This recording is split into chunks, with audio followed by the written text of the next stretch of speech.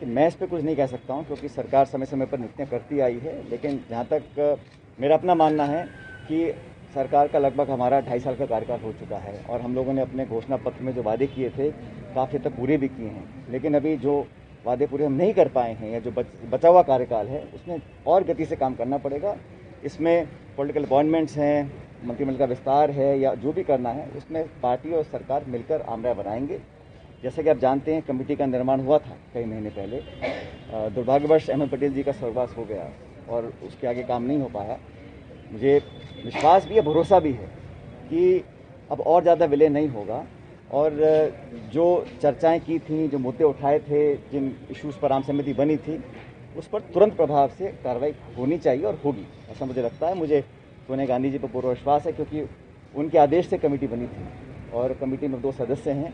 अब उपचुनाव भी दो दिन में ख़त्म हो जाएँगे और जो पाँच राज्यों के चुनाव थे, वो भी लगभग समाप्त हो चुके हैं। तो मुझे नहीं लगता कि अब कोई कारण होना चाहिए उस कमेटी के निर्णय और उनके आदेशों के क्रियान्वयन में कोई अधिक विलम्ब होगा।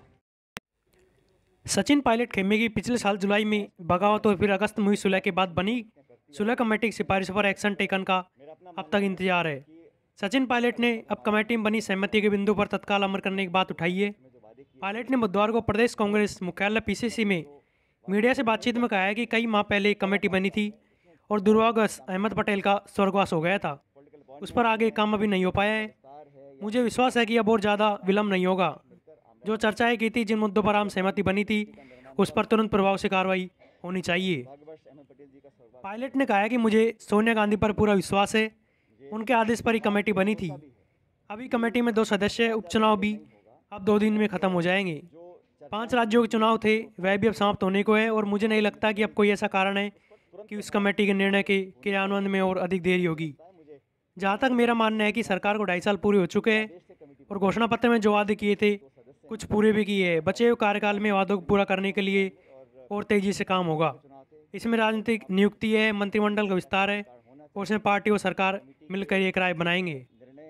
आपको बता दें कि सचिन पायलट ने अपने समर्थक विधायक रमेश मीणा और अन्य विधायकों के दलित आदिवासी विधायकों के साथ भेदभाव का उठा, मुद्दा उठाने पर भी पायलट ने समर्थन किया है।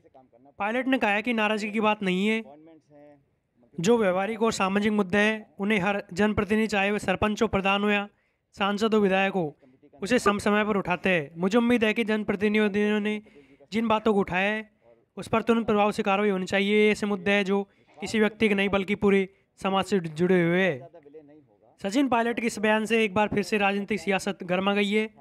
लंबे अरसे बाद पायलट ने सुलह कमेटी और खुद के समर्थक विधायकों द्वारा उठाए गए मुद्दों पर खुलकर राय रखी है। पायलट ने इशारों में यह भी कह दिया कि मंत्रिमंडल विस्तार और राजनीतिक नियुक्तियों में अब देरी नहीं करनी चाहिए।